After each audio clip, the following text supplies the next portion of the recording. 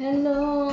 Hello po sa lahat. Welcome back to my channel. It's me again, Rona Dennis Vlog. So, for today's video, eh, gusto ko lang kasi try itong aking bagong DJI. First time ko siyang gamitin sa pag-vlog. So, gusto kong ipakita sa inyo kung paano. Maganda siya kasi may tracker siya. So, ganyan. Ano natin siya. Ganyan siya. Pwede mo rin ito siya i-ano kung sulkikan. Diba? Tapos kung mag-vlog ka lang, ganyan mo lang siya. Ayan mo lang siya. Ay, dito muna. Ayan, meron siyang clamp. Kailangan sa center natin siya ilagay para mag-balance. Kasi pag ano mo na siya, mag lalabas ang ano na your phone is unbalanced mag-vibrate daw siya. So ayan na paano na siya dyan. O diba?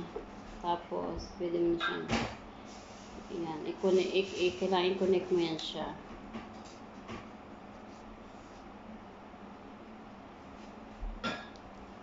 Tigas so diba? Ganyan na siya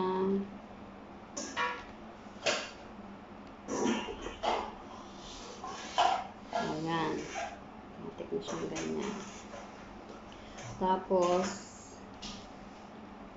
i-ano natin siya. Kailangan natin pumunta dun sa, oops. Namatay kasi.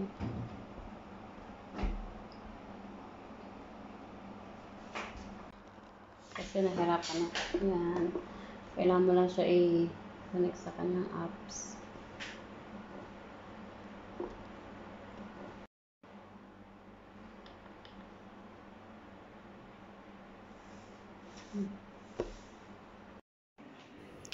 So, ayan guys, meron po siyang face track.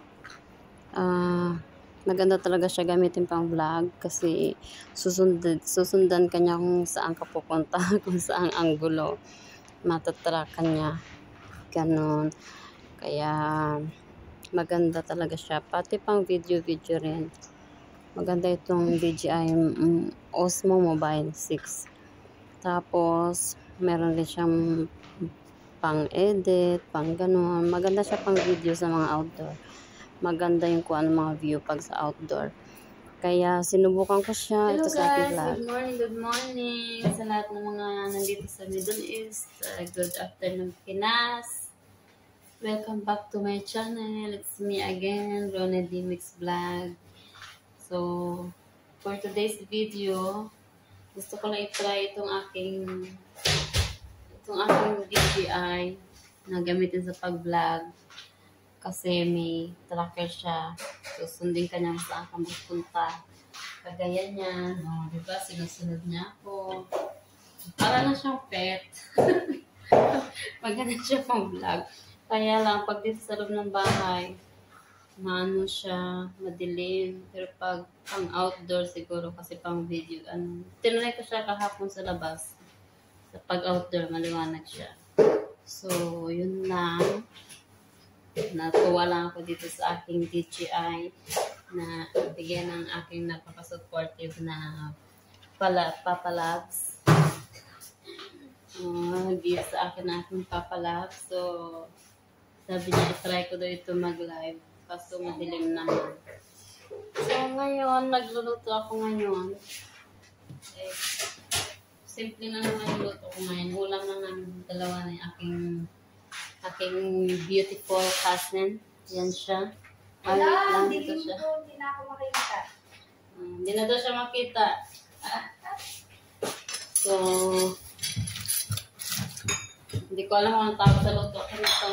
Ano? Pero naalala ko pag sa Ilonggo kasi ang tawag dito basoy. Yung Yeah, basoy. nalagyan ng Pechay. pechay. Gas oil. Pero ang Gas gagamitin oil. ko ay pak choy. Pak choy. Dahil wala kaming pechay. Pechay na rin siya dito, di ba? Kasi Chinese pechay, pak choy tawag dito. So, yun ang ulam namin sa ngayon. Kasi gusto ko lang humigop ng sabaw. medyo nagda-diet ako ngayon. More on ulam ako ngayon, less on rice. So, kasi may pinaglalaanan akong secret. Diet. May talabat. Babawi ako pagkatapos ng party, promise. So, ganyan. Kumain ko muna ito ating pet chai, pet chai na pak choy. Madilim talaga siya. Pasensya na kayo guys. Gumagalaw-galaw na. Madilim talaga siya kasi hindi din yung pagmamahal mo. Madilim siya kasi madilim na nakaraan. Mabait na. Mabait. Ito ko talagang ano. Kapal siyang pedo. Diba? Sumusunod siya. Ayun na. Malayo lang. Naririnig niyo ba ako? Charot. Kilian muna natin kasi may mga parts na ano siya. May mga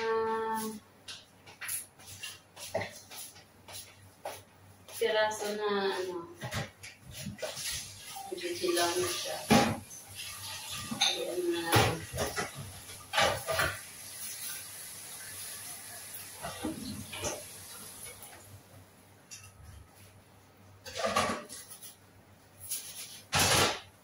Madilim itong video ko guys kasi next time sa outdoor sa outdoor tayo para maliwanag. Like first time na kami dito sa ating pag-vlog. Hindi, tag-ingay mo ba? Sige lang. Don't make noise when I'm, I'm doing my I'm vlogging, please. Kung siya ano dyan. Supposed to be there no existing, existing sound, only just my voice and what I'm doing. So can you please minimize the noise that you're doing? Okay. But I'm not just like that. I can't minimize my voice if I have to. Minimize no, you're interrupting my vlog, you know. Um, minimize your voice so I, I can concentrate over here. Over here with my pak choy. Masarap pakinggan yung pak choy, di ba? Ba- social na pet choy. Pero sa Pinas, parang ano na yun. Parang mura. Hindi ko alam kung anong tawag nito sa totoo lang luto ko guys. Maski packs. Maski packs ba? Maski paano? Basta may ulam. Ganitong kailangan dito yung mga buhay OFW. Kailangan survival. Pag hindi ka marunong kasi hindi ka marunong kumain ng kahit ano, magugutom ka. So, can you please watch my pretty cousin? So, ayun na guys, 'di ba? Sa dito sa abroad kailangan Kailangan survival matibay. talaga. Kailangan matibay yung sikmura mo. Marunong kang ano, kung kung tawag nito, kung nakasanayan mo kumain sa Pinas lagi ng masasarap, mga yan, mga hotdog, hotdog lagi, mga corn, corn beef lagi, mga kung anik-anik. So, dito sa abroad, kailangan mo talagang matuto. Kailangan mo lang lamunan yung sikmura mo bago ka sumabak sa trabaho. Lagi naman may laman yung siguro. Kasi, kami kahit pa paano, swerte pa rin kami kasi, di ba, ako ilang taon ako dito sa bahay namin. Sa amo, sampung taon na ako dito. Kaya parang feel na feel at home na lang ako. Kami na lang yung hindi ng pagkain. Depende na lang yung kung tinatamad ako magluto minsan. Lalo na itong kasama ko. Sabi niya, huwag na tayo magluto dahil order na tayo talabat. Ano gusto mo, Chowking o Jollibee? O, diba? Oo, kahit paano, mas masasabi pa rin maswerte kami, diba? Alhamdulillah. Thanks, God. So, asa na? Yan. So, ito na pala ang ating factory, guys. Ayun na, di ba na dito banda? Ito na siya. Pag, pag yumuko ako, yun ako din itong aking pet. Oh, di ba?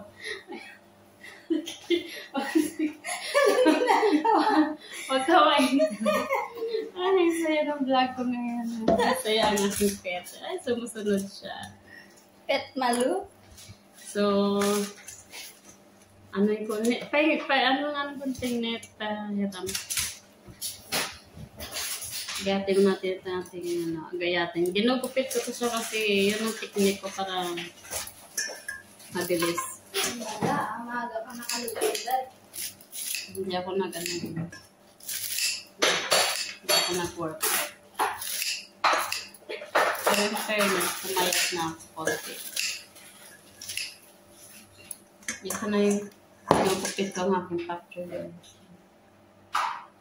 Hmm.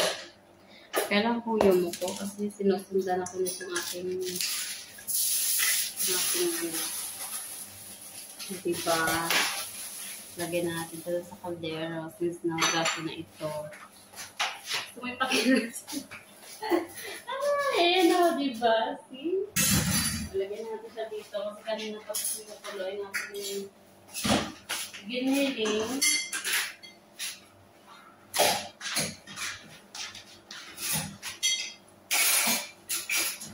Madilim na.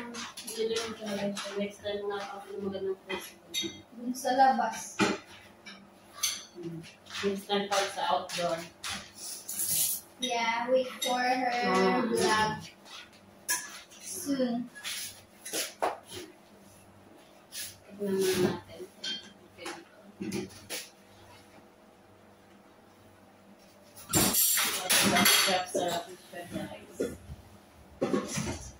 Kapag di yan masarap.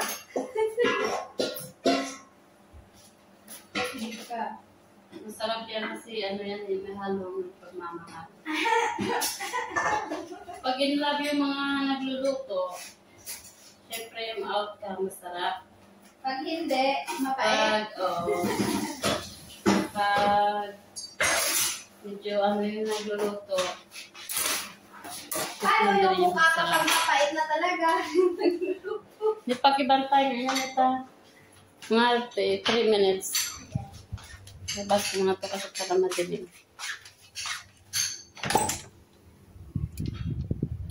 So, ayan guys. Lumabas muna tayo dito para maliwanag naman. Diba? Ang daming sinampay. Maganda tong aking ano talaga. Maganda siya. So, ayan na. Nakakatuwa itong ating DJI. So, bye na muna guys. Yan na lang muna for now. Tinry ko lang itong aking bagong DJI Mimo. So, bye guys. Thank you, thank you for watching. See you, see you next time on my next, on my next video. Bye. I love you guys. Mwah, mwah, mwah. And God bless.